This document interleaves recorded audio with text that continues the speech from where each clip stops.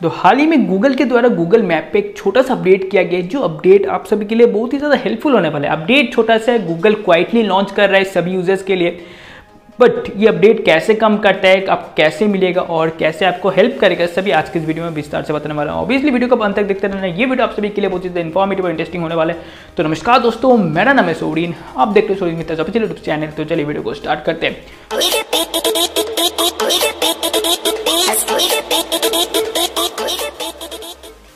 तो देखिए गूगल अपनी गूगल मैप्स पे एक नया फीचर को इंक्लूड कर रहा है, जिसका नाम दिया गया है split screen mode for street view तो इस फीचर में क्या होगा, मैं आपको बता दूँ। सिंपली आप अगर गूगल मैप पे किसी भी एरिया को अगर आप पिन कर रहे हो गूगल मैप पे आपको पिन करने का ऑप्शन मिलेगा, जिससे आप उस एरिया के बारे में डिटेल्स जान सकते हो।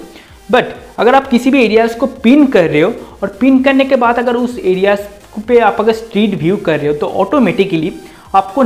स्क्रीन टू सेक्शन पे डिवाइड हो जाएगा और नीचे आपको मैप देखने को मिलेगा और ऊपर आपको उस एरियाज़ के फ़ोटोज़ देखने को मिलेंगे। नीचे मैप इसलिए देखने को मिलेगा, उस मैप्स में आपको ब्लू हाईलाइटेड एरियाज़ देखने को मिलेंगे ब्लू कलर पे। जो रूट्स होंगे या जो पिक्चर्स होंगे, जो एरियाज़ होंगे, वो ब्लू कलर के आपको हाईलाइटेड देखने को मिलेंगे। तो आप डायरेक्टली उस ब्लू कलर हाईलाइटेड एरिया पे आप अगर क्लिक करोगे तो ऊपर वाले सेक्शन पे ऑटोमेटिक उस एरियाज़ के रिलेटेड जो जो इमेजेस है फ़ोटोज़ है वीडियोज़ है, वो आपको देखने को मिल जाएँगे।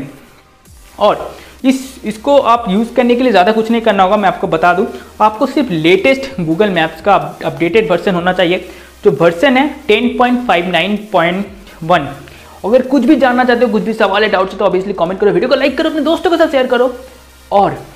चैनल को सब्सक्राइब करके नोटिफिकेशन को ऑल करके रखना मत भूलना। तो जब भी मैं कोई नया वीडियो डालूँगा, सबसे पहले आपके पास नोटिफिकेशन आ जाएगा तो मैं वीडियो को खत्म करता हूँ। जय हिंद